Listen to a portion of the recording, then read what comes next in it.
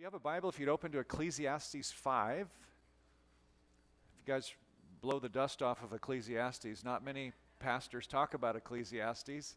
It's one of my favorite books in the Bible. It's com- almost always misunderstood. Uh, I think it's a fantastic book. It's really seen as sort of a cynical, negative book, but it's really not cynical or negative. It's real. And what Solomon does in the, in the book of Ecclesiastes is he, he actually, his opening sentence, I think, is doesn't he say, vanity of vanity, all is vanities? Isn't that the opening of Ecclesiastes? So he just says, hey, everything is vain. And he's not, he's really not being negative. He's just saying, I want you to get a clear grasp on what life is like. And so he sort of puts things in columns.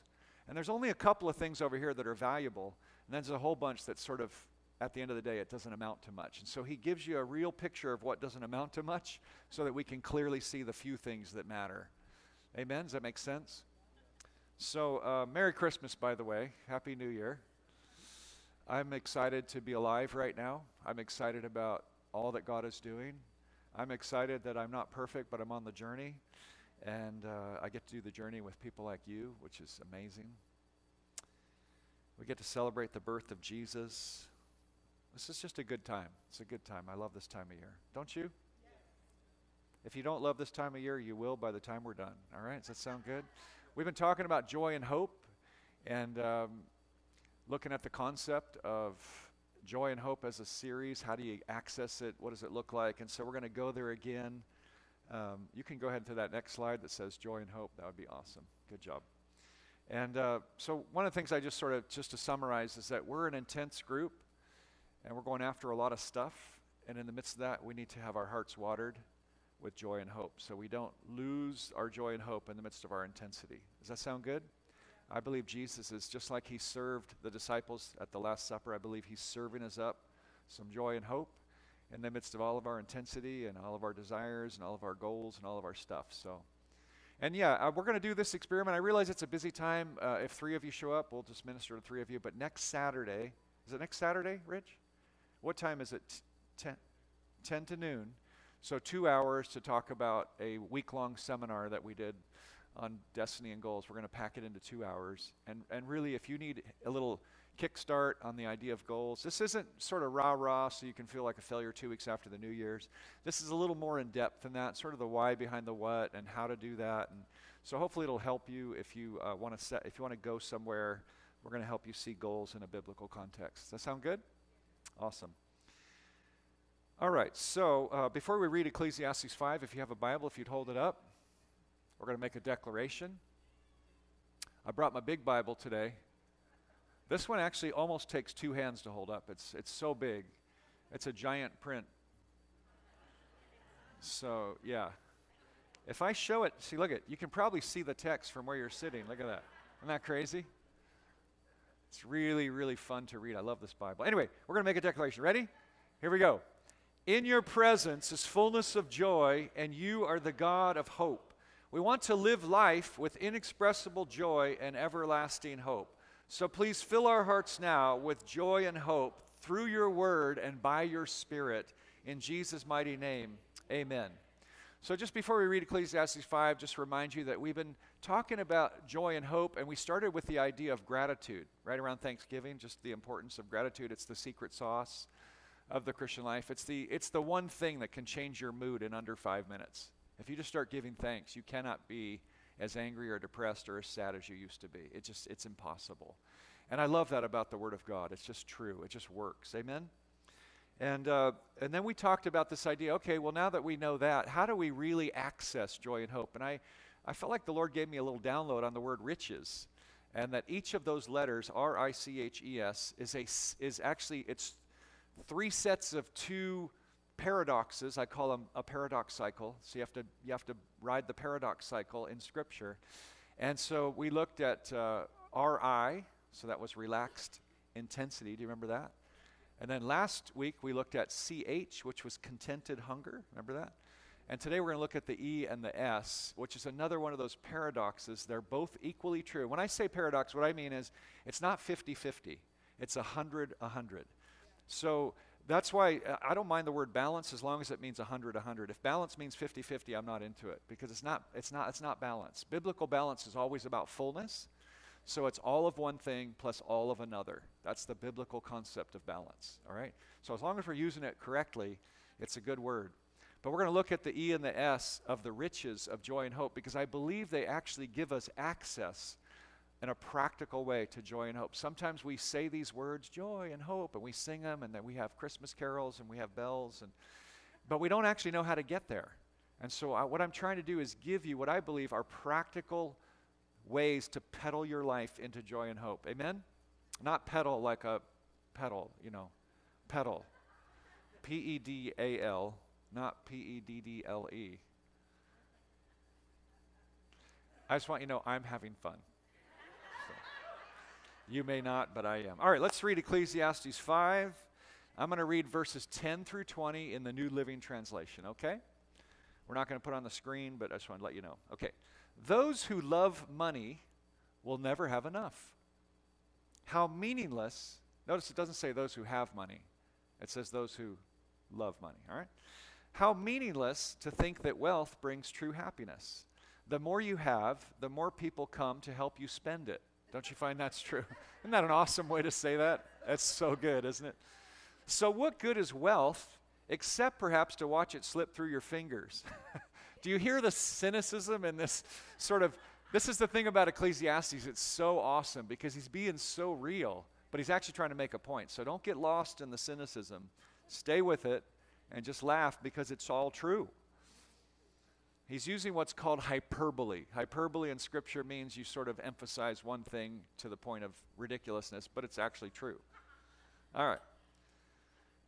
Verse 12 People who work hard sleep well, whether they eat little or much, but the rich seldom get a good night's sleep. Now, he's not, that's not totally true, but what he's, he's trying to say something, all right? He's trying to talk about the, the, when you're after riches. I'm sure there's rich people that sleep really well, probably better than a lot of other people, but he's trying to make a point, okay? So when you read, by the way, when you read, I want to encourage you to get a book called How to Read the Bible for All It's Worth by uh, Gordon Fee and Stuart, I can't remember his first name, but Basically, there are different genres. Everyone say genre. Genre means type. There are different genres of literature in the Bible. So there's there's uh, narrative, which is history. There's epistles, which are instructional letters. And then there's uh, revelatory, like uh, Daniel. Rev- there's prophets, Revelation. But there's also uh, poetry. And so uh, Psalms, Proverbs, Ecclesiastes are all poetic books. And they're to be interpreted differently than other books of the Bible. And so I encourage you, if you don't know that, you should get How to Read the Bible for All It's Worth because it'll help you understand how to read different genres of Scripture.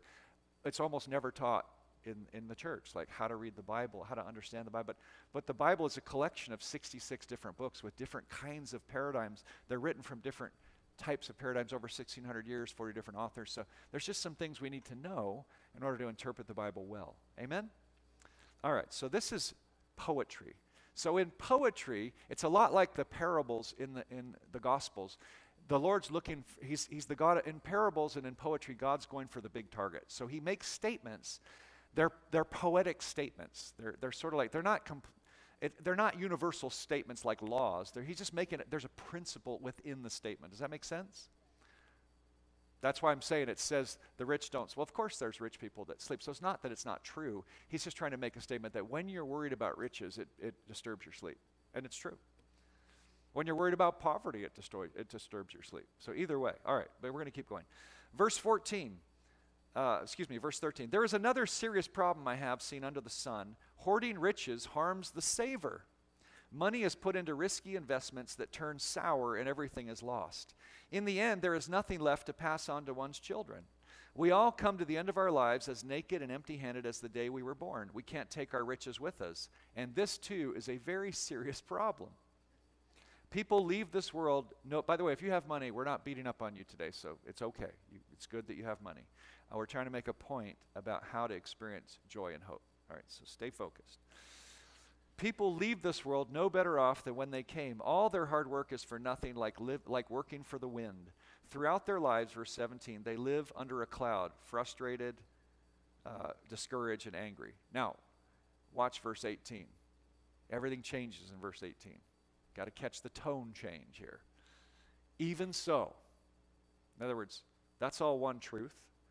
Even so becomes the transitional word to a new truth. Are you guys with me? Even so, I've noticed one thing at least that is good. It is good for people to eat, drink, and enjoy their work under the sun during the short life God has given them, and to accept their lot in life. And it is a good thing to receive wealth from God. Now, listen, that almost sounds contradictory, doesn't it? It is a good thing to receive wealth from God and the good health to enjoy it. To enjoy your work and accept your lot in life, this is indeed a gift from God. Verse 20 God keeps such people so busy enjoying life that they take no time to brood over the past. Now, that is so powerful. Wow. So, the riches of joy and hope belong to enjoyable believers. All right, that's the E. The E is enjoyable. If you go to the next slide, enjoyable believers. All right? We want to become enjoyable, enjoying those who enjoy life, those who enjoy God, those who enjoy the things He gives us.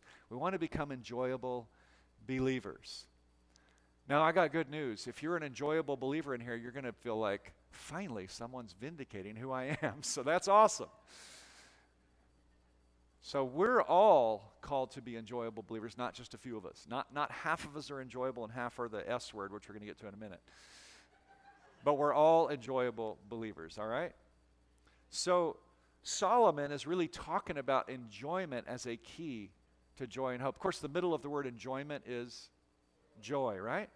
So this scripture is really about joy. And let's just look at it for a minute. I want to just point out a few things. First of all, Solomon the guy who's writing this is uniquely qualified to write this. Number one, he had 700 wives and 300 concubines. Now, I'm not trying to be uh, difficult with you, but concubine were basically sex objects, okay? So he had a thousand women at his disposal, 700 wives, 300. I'm not, bra- I'm not, we're not bragging about this. We're not saying this is right. We're trying to help you see something, okay? These are called facts. These are the facts. This is what Solomon experienced. Now, for a lot of men in today's society, this would be like a dream. He had a dream situation. All right? He did. Of course, the Bible says this was actually Solomon's downfall because he had so much love for his wives that he lost his love for the Lord. The Bible actually evaluates Solomon's life and says he was half hearted for God because it got so caught up in this. Of course, Solomon's the guy who wrote Song of Solomon. Isn't it strange how God uses imperfect people? eternal, eternally in the Word of God, a polygamist of the biggest, in the biggest way in the history of the world. The biggest polygamist in the history of the world writes a book of the Bible. Actually, a few, right? It's crazy, isn't it? But that's the redemptive nature of God. He'll use people even like us. Isn't it amazing? You're like, well, I'm not Solomon. I know, you're you. You got your own stuff. but here's the thing so Solomon had this, he had, whether you are dis- disgusted by his life or not, he did have a unique perspective, didn't he? He knew what he was talking about when it came to wives, intimate, you know, at least sexual intimacy. All right. But it wasn't just that.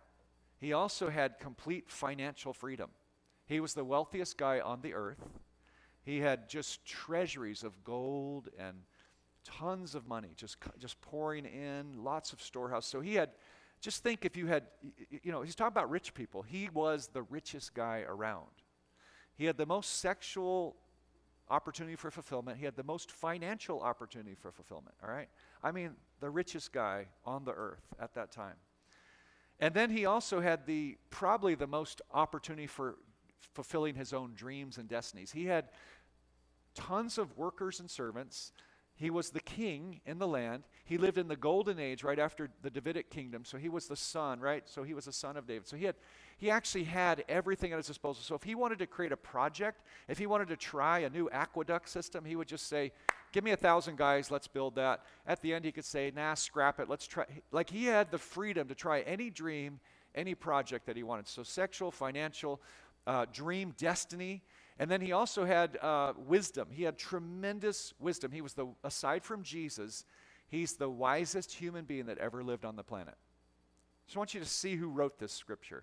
He had complete access to the research of his day. He knew more than anybody else. He just had tremendous wisdom and knowledge. and could make judgment calls in an instant. He was inspired by the Holy Spirit to make great judgment calls. This guy had everything at his disposal. All right? So when he's speaking, whether you like it or not, we should listen because he knows from experience and from a download of supernatural wisdom what he's talking about. And uh, the first thing he says, he says, pursuing wealth is extremely unfulfilling. Seeking wealth. It's not wealth, it's the pursuit of it. It's the, and again, if you have a business and you're trying to make money, that doesn't mean this is you. Okay, I, what we're talking about is that incessant desire to become wealthier and wealthier that leads to a lack of satisfaction in life. All right? Some of you don't know, but here's the crazy thing you can pursue wealth and be rich, you can pursue wealth and be poor. You can, it's called a spirit of poverty. You can have a spirit of poverty no matter how much money you have or don't have. So he's trying to address something in all of us, saying, look, Many people are after wealth, they're after riches, and it's not wrong to prosper because the Bible tells us to prosper. It actually says in Deuteronomy 8:18 that God is the God who gives who gives us power to make wealth. So God isn't contradicting himself. It's not wrong to have money, it's wrong to be in love with money, right? It's not wrong to have wealth, it's wrong to crave it as though it is the fulfillment of life. All right? So what's Solomon saying? Verse 10, he says it's the love of money. We can be greedy and deceived never have enough, and it, money does not provide in itself, it doesn't provide actual deep satisfaction and happiness. Number, and then he says in verse 11, he says, Hey, if you have money, the other issue is you can be taken advantage of. You've always got friends who want to help you spend your money on them. And, uh, and then you kind of wonder, who are my friends? Another issue is you can lose sleep over worrying about your empire. So you've got all this stuff. The more stuff you have, the more you have to steward it, the more you have to worry about it, the more you have to take care of it, the more you have to polish it and, you know, protect it from rust and right. Uh, you can end up taking foolish risks. That really what he's talking about is over leveraging. He's saying, look, when you have wealth, you have you have buying power and you have leveraging power. So the problem is you can overextend your credit. How many of you know that in the recent, you know, housing market turn in 2000, really started about 2006? A lot of people lost everything because they were over leveraged, right? They were very optimistic. This is kind of what that's talking about. When you have money and you have access to things, you can over leverage yourself and end up with nothing because you make what he calls risky investments. The whole mortgage industry went that way, right? So many loans that shouldn't have been ever, ever uh, approved were approved because there was this, oh, there was this really, it was greed. There was a lot of greed driving the entire culture. And so prospering is one thing, being greedy is another. Okay? And then he says you can work hard, but the problem is you can't take it with you. There's no, uh, there's no caskets with tow-along trailers. You know, you just you can't take any of it with you. Uh, you. Your body dies, so you can't grab anything. Even if you put gold coins in your casket, you can't carry them into eternity because your soul goes on, not your body, right? You get a new body. So you can't take any of that with you. And then he finishes with this. He says, The other problem, the final problem, is, is when you pursue wealth in the wrong way, when you pursue it in the wrong way, you can live under a constant cloud of what he calls frustration, discouragement, and anger. Now, I'm not going to ask you to raise your hands, but if we were honest, probably all of us at some point in trying to gain wealth have experienced this frustration, what's he call it? Discouragement and anger where you're just like, oh, that, that thing didn't work out, that business deal fell through, that person didn't keep their promise. And it's because we're trying to build wealth and it's, you know, it's falling through our fingers. We're like, oh, you know. And so basically, he's describing humanity, isn't he? I mean, he's described, maybe not you. Uh, you guys look so spiritual today. So, not one of you knows what we're talking about here, but I do. I've un- I understand this. Uh, I've never really been after money, to be honest with you. I'm not that kind of a person, but who doesn't want to have more um, wealth? I mean, we all would like to have more wealth, so I can admit that. Thank you, my friend. There's two of us. So anyway, let me just, let me just move this over here. So let's just talk to you. All right, forget about that. Okay, so anyway, Mike, what I want to say is, verse 18, brother, there's a tone change. All right? And the tone change begins with this word, even so. Even so, Mike, what happens is for guys like you and I, there's hope. There's hope. Because it says, even so, I want to give you a new truth. All right?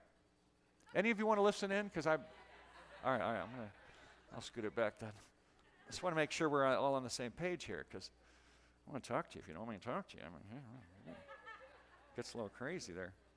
Okay, So here's what he says Even so, I've noticed in the midst of all that craziness, in the midst of those human tendencies, in the midst of that human weakness, human frailty, human ambition, human greed, in the midst of all that stuff, he says, I see a sliver of good. And this is kind of the tenor of Ecclesiastes. He's like, goes, Bad, bad, bad, bad, bad. Oh, but there's something good. It's kind of like that through the whole book. It's like vanity, vanity, blah, blah, blah, blah, but there's something good here. No, no, no, there's something good here. And so that's why you got to read the book and look for those slivers of encouragement because they're just, they're shrouded by lots of discouragement, lots of like, wow, this is a bummer. But you know what? It's a wake up call. The book of Ecclesiastes is like a wake up call. It's a very good book. Uh, one of these days I'm going to preach on it. It's such a good book. Anyway, so he says, Look, he says, there's something that's good. And He says, it's good for people to, it's interesting. He says, eat, drink. He doesn't say eat, drink, and be merry. He says, it's good for you to eat, drink, and enjoy, which is kind of like be merry, but enjoy your work and accept your lot in life. That doesn't mean that you shouldn't strive to improve or shouldn't strive. It just means if you find yourself uh, born a certain gender, born a certain location, born to certain parents, don't hate life. He's saying, look, ex- there's certain things you need to accept. We talked about the serenity prayer. God, help me to accept the things I cannot change. There's things you can't change. And what he's saying is if you can learn to accept the things that you can't change and enjoy your life, enjoy your work, it's, it's, it's amazing. And there aren't that many people that are living that way, that are truly able to accept their lot in life and enjoy their work. Most people, if you interview most people, they're going to say, Yeah, I hate my job. I can't stand my job. I'm bored with my job. I don't like my job. Inevitable, it's the majority of people, Christian and not, okay? Now, if you don't like your job, I'm not criticizing you. That's fine. Just hear the spirit of what's being said. It's good for people to eat, drink, enjoy their work, and accept their lot in life. And then he says this it's good to receive wealth from God. Did you catch that? So in a, it sounds like he's contradicting himself, but he says, look, there's a difference between striving after wealth where it makes you miserable and receiving wealth as the byproduct of doing what's right. So you do what's right, you, you build a kingdom business, and you receive wealth from God, and you say, Thank you, Lord. And you're no longer frustrated, angry, upset. You're like, Wow, this is awesome. I'm living under the favor and the blessing of God. There's a difference. So it's not about the wealth itself, it's about how you got it. And we can get it the wrong way, which is the frustrating way, or we can get it as a gift from God. I shared with you last week how I used to judge wealthy people because I had a spirit of poverty. So I'm free from that now. God can prosper me, and sometimes I experience that radical prosperity. It's amazing. And I'm learning how to be content in every situation. We've, we've had more than other times and less other times. We've not had any way to pay our bills sometimes. Other times we've paid other people's bills. And it's all awesome, to be honest with you. But anyway, he says it's good to receive wealth from God and the health to enjoy it. So he says, first of all, if you can enjoy your life and if you can be healthy enough to enjoy your life, that's awesome. But then he says this amazing thing. He says, enjoying your work and accepting your lot in life is actually a gift. I just want you to hear this. Enjoyment is a gift from God. The ability to enjoy your life is a gift from God. Some people seem to be born with it, other people need to get it. But it's a gift from God. Either way, it's a gift from God. Hello? But this is this last statement is incredible. He says God wants to keep you and I busy, so busy with enjoyment that we don't have time to brood over the past.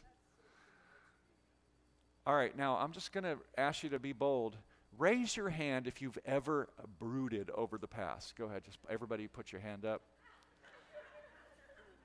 Now, some of us should have two hands up because we really brood. We like live our lives brooding, brooding, brooding, and God wants to give you a gift today. You don't have to do that. He does not want you and I to brood over our past. You can learn from your past, you can benefit from your past, but you shouldn't brood over your past. The Lord doesn't want us to live in constant regret. You can regret certain things, certain decisions, but they don't have to control you. So many people brood. Brooding means you go over it and over it and over it in your mind and your soul. And it actually determines your mood and your outlook. When you brood, it determines your mood and your outlook. The Lord's saying this I will, I'm willing to give you a gift so you don't have to do that anymore. Does that sound like a deal? Many of us are aware that in certain third world developing countries, there are children who have next to nothing compared to us. They have a tattered shirt on their back and shorts, and that's and maybe flip-flops if they're lucky. And yet they have more joy than we have. It's very, very common. How in the world can that be? It's called the gift of enjoyment. And you know what's amazing? The book of James, chapter 2, verse 5 says that the Lord has chosen the poor to be rich in faith and heirs of the kingdom. In other words, the poor automatically get gifts that we have to ask Him for. Hear what I'm saying. The poor automatically get free gifts that we don't get. And if you're poor, you get a free gift that other people don't get. It's called being rich in faith and inheriting the kingdom. That's an amazing thing. Everybody else gets the kingdom if you receive it. The poor get it automatically. You're like, that can't be right. Read James, read James 2 5. That's what it says. God has chosen the poor to be rich in faith and to inherit the kingdom, to be heirs of the kingdom. Automatic, automatic benefit. In other words, economically, this is so unjust, I'm going to give them a free gift. Enjoyment is one of those gifts. That's why every time you know people go to a third world country and they come back like, "I was moved to tears. They're so happy and they have nothing." Exactly, they have the gift of enjoyment. I mean, so many countries I go in, and kids are they have a stick and they have an old wheel, a, a bicycle wheel, and they just, but it's beautiful. It, it actually makes them want to weep because they're they're just laughing and giddy and it, it reminds me of my own childhood. We weren't that poor, but we, it was the simple things that would make you happy. You know, when I was a kid, it's like it didn't take much to make us happy. Today, if you don't have an iPad and a, you know, uh, your own uh, uh, network account, Facebook, it's like people throw, kids throw temper tantrums. I'm like, man, there is something to be said for the old days when it was so simple. It didn't take as much. I mean, a couple of sticks, a rock, and an imagination, and you could do all kinds of stuff. Right? God has chosen the poor to be rich in faith. But the bigger issue is this whether you have money or not, there's something called the gift of enjoyment. And the Lord wants you and I to have that. We're going to pray. Our ministry time today is going to include prayer for the gift of, of enjoyment. Sorry, I meant to say the gift of enjoyment. The gift of enjoyment is a actual gift from God that every believer must have. If you don't have the gift of enjoyment, you cannot enjoy your life. Read Ecclesiastes 5 very carefully. It's really fun in the New Living Translation or the Living Bible because it just says it so plainly. But I just want to encourage you to ask God for the gift of enjoyment, especially if that's not your nature. Some people are born almost with the gift of enjoyment and they just they enjoy life so easily. They have other issues. They do. Because this thing is a balance. It really is. It's a it's a paradox cycle. So they got the enjoyment thing down, but they, they need the next thing we're going to talk about in a second. But that's okay. We're talking about enjoyment right now. I want to encourage you to ask God for this gift called enjoyment. I saw this when I was a teenager. I read this in Ecclesiastes and I thought, I need this gift. I'm not wired this way. Not that I hate life or anything, don't get me wrong. It's just that my nature was always the more, the striving, the wanting, the going after. And I said, I need the gift of enjoyment. I need this gift. And I began to ask God for it. And man, I'm not saying I'm there, but I'm so different than I used to be. Like I really enjoy life now. And I there's areas I need to grow, and that's that's okay. That's your whole that's everybody's life. But I ha- I know that I have the gift of enjoyment because I asked God for it. And everybody in this room, the cool thing about these promises, is they're the great leveler. Everybody gets access to the same promises. Everybody can have them if you want them. Let's read another passage in Scripture. This is Luke 13. If you want to turn your Bible to Luke 13, just, yeah, leave it there for just a sec. Luke 13, we're going to read verses 22 through 28. I want to kind of give you the opposite truth now. The opposite truth. You guys with me? We doing okay? All right. These are super simple outlines. There's like point one, point two. Super simple. Verse 22 Jesus was passing through from one city and village to another, teaching as he went his way to Jerusalem. Someone asked him, Lord, now listen to this. Lord, are there just a few people being saved? This is a very important question. It's being asked a ton right now. Lord, are there just a few people being saved? And this is what he this is his answer. Jesus didn't be, no, no, no, everybody's going to, this isn't how Jesus answered. Listen to how he answered. Strive to enter through the narrow door, for I tell you, many will seek to enter and will not be able. Wow. It's very different than what's being taught today. I'm not saying this because I only want a few. I want everyone to get saved. I'm just telling you what the Bible says. All right, just we're just reading. We're reading a few verses here. All right. Once the head of the house gets up and shuts the door, and you begin to stand outside and knock on the door, saying, "Lord, open up to us," then he will answer and say to you, "I don't know where you're from." Then you will begin to say, We ate and drank in your presence. Now, this scripture is amazing when you juxtapose it to the one we just read. Just listen. We ate and drank in your presence, and you taught in our streets. And he will say, I tell you, I do not know where you're from. Depart from me, all you evildoers. In that place there will be weeping and gnashing of teeth when you see Abraham and Isaac and Jacob and all the prophets in the kingdom of God, but you yourselves being thrown out. Now that's a hard scripture. I admit that. But I want you to hear the heart of God and hear what the Lord is saying, okay? You guys good? You got a few more minutes of truth? Can we handle a few more minutes of truth? The second point is this the S, of course, is striving. The riches of joy and hope are reserved, they belong to striving believers. Now, I know that word is hard for many of you striving. We don't want to strive. Biblically speaking, you do want to strive. Just so you know, the Bible is opposite of what many Christians say. Many Christians say, no, no, never strive. The Bible says strive. It's actually a command to strive in about almost 10 places. All right, I'm going to give you a few today. But anyway, it's a very challenging reality for a lot of people. Some people actually try to change what the Bible says. They read it with an eraser, with whiteout. They're like, oh, I've got to white that out. I don't like that. I'm going to get rid of that. Don't read the Bible with an eraser. Don't read it with whiteout. Just read it. All right? And to be clear, when Jesus used the word strive, I want to help you unpack this so you know what word he's using. It's the Greek word agonizomai. Does that sound like anything? Agonize. What it means, it's a compound word. It means to labor, to struggle, to agonize, and to contend like an Olympic athlete competing for the gold medal. Think about how much training Olympic athletes go into. That's the word agonizomai. Jesus is saying, be like an Olympic athlete in coming into the kingdom. Just think about that for a minute. It's a command, it's not an option, and it's to everybody. Jesus is actually saying total effort, full on competition, blood, sweat, and tears, and give it everything you've got. Now, let me ask you, where is that in your life? Especially if you're an enjoyment person. Where is the agonizing in your life? Where are you working so hard?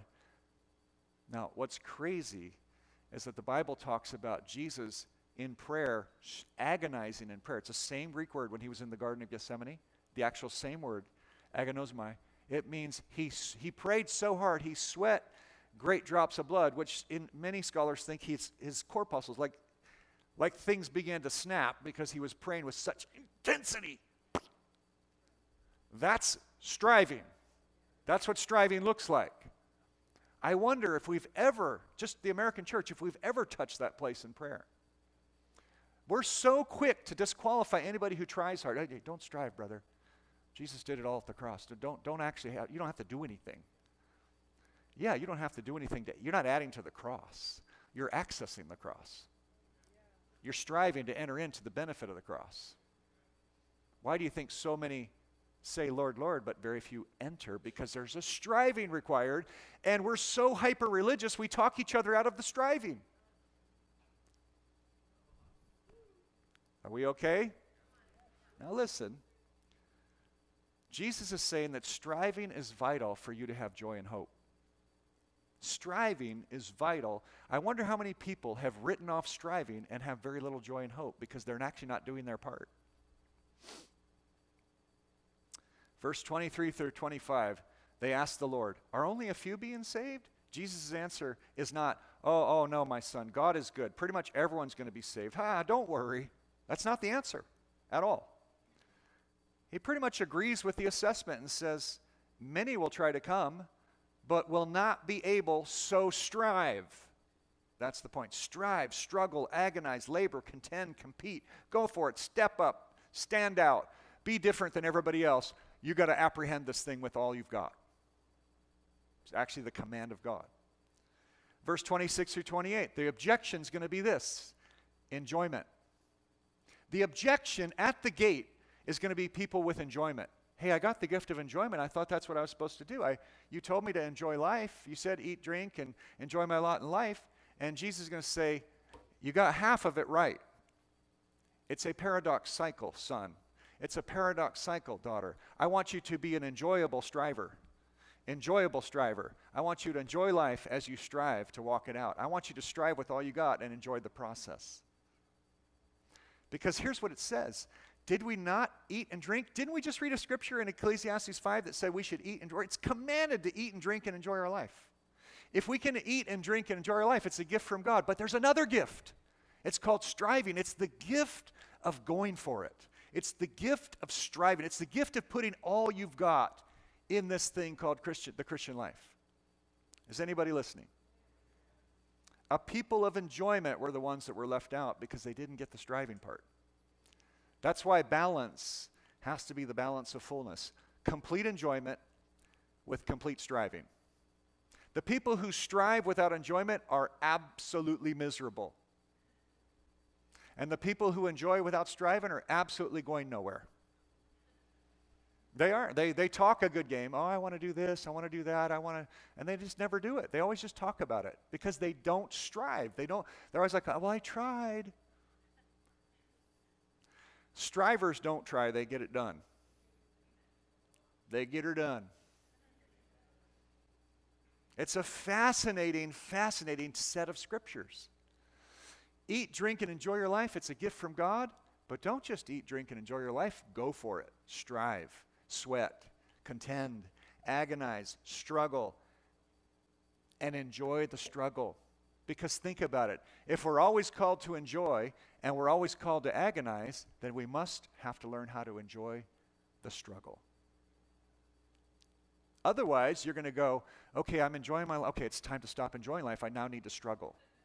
That's how many Christians live. That's why so much, so few believers actually have a devotional life because they're like, no, no, yeah, he loves me. Whoa, how he loves me. Oh wait, I got to have a devotional life. He loves me. No, no, no, no. What if they came together? What if it's like the alarm goes off and instead of go, little flesh, it's okay. You don't have to get out of bed. Your daddy loves you. Don't have to do anything. No, you just get out of bed. You're like, I don't want to miss being with my heavenly daddy, so I'm going to get up. My flesh is going to say no. I'm going to say yes, and we're going to do this thing.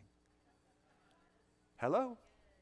And just in case you think that this is an anomaly in Scripture, I just want to finish up here with a couple of other texts. 1 Corinthians 9, you remember that one? Paul says, All run the race, but only one gets the prize. Do you remember what he says? Exercise striving, exercise self control, get mastery over your own body.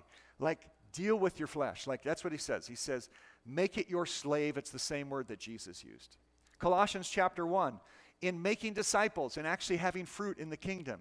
Paul says, I was chosen to be a preacher of the gospel, which is a mystery that has now been revealed, which is Christ in you, the hope of glory. We proclaim him, admonishing every man and teaching every man with all wisdom, so that we may present every man complete in Christ. For this purpose I labor, striving according to his power, which mightily works within me. A lot of people think that when we have his power, we don't have to strive. The Bible says when you have his power, you will strive because you'll be striving in his power.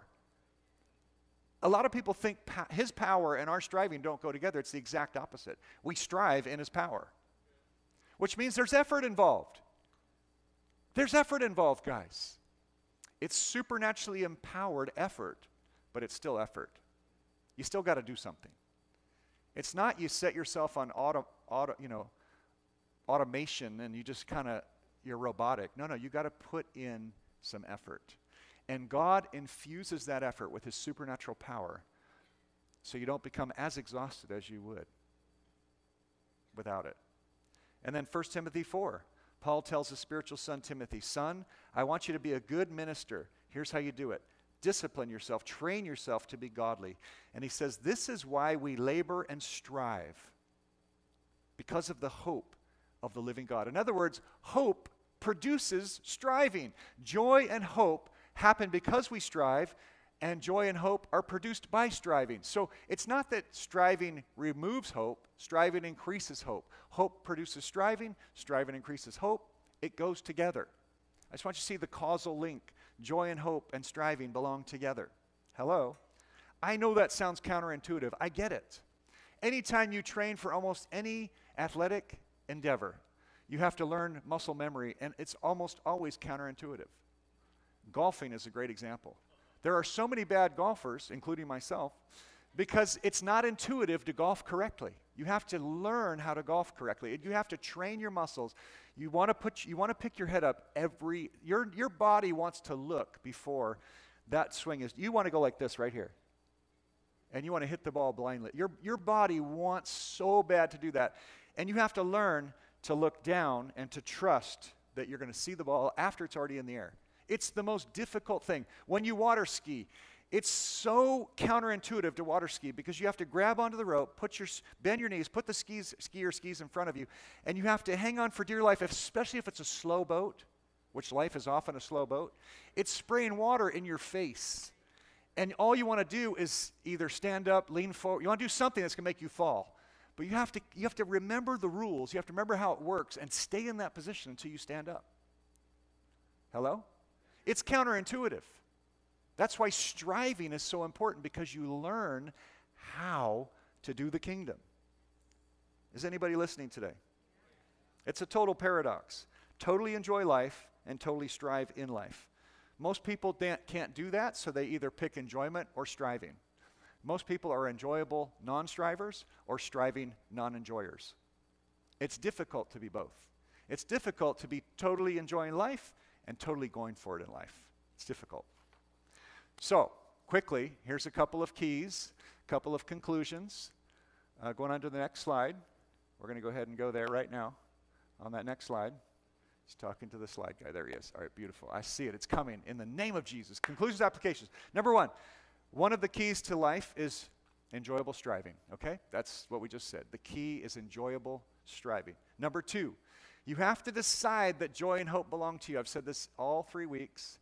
You have to decide that you, you get joy. And joy and hope belong to you, not to your neighbor, not to somebody else only, but to you. You are the inheritor of joy and hope. Can you go to the next? Um, there you go. Decide joy and hope belong to you. Go to the next one, please. You got to put. You got to ask God for what you lack. So if you lack enjoyment, you got to ask God for the gift of enjoyment. And if you lack the striving, you got to ask God for that because it's not going to come naturally. It's okay to be wired a certain way. It's okay to have propensities. That's fine. But to be a person of joy and hope, you're going to need both. People that only have enjoyment and no striving, they're never going to have full joy and hope. And people that only have striving and don't have enjoyment, they're never going to have full joy and hope. You've got to have both to fully be alive in God. You got to have both. So ask God for what you lack. Number four, push the pedal of your weak leg. If you're great at enjoyment and not so great at striving, write down some areas that you need to strive and grow in. Like, like literally, come to the goal seminar on Saturday. Like, literally go there. And if you're really good at striving and not good at enjoyment,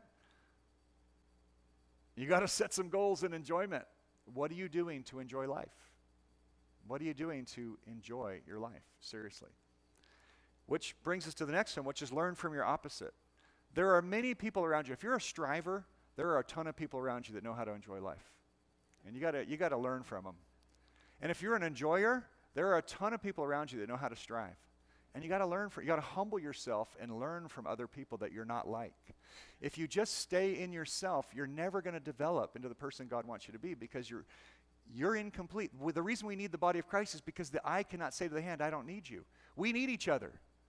We need to become enjoyable strivers. So wherever we're weak, we need to find somebody or some people around us that can help us become that person. A lot of my growth has been because I've been around people that are not like me. And I, and I learn from them. I watch them. I listen to them. They tell me. They say, no, Mark, that's not quite it. And it helps me. And we all need that. And lastly, I want to encourage you to be accountable.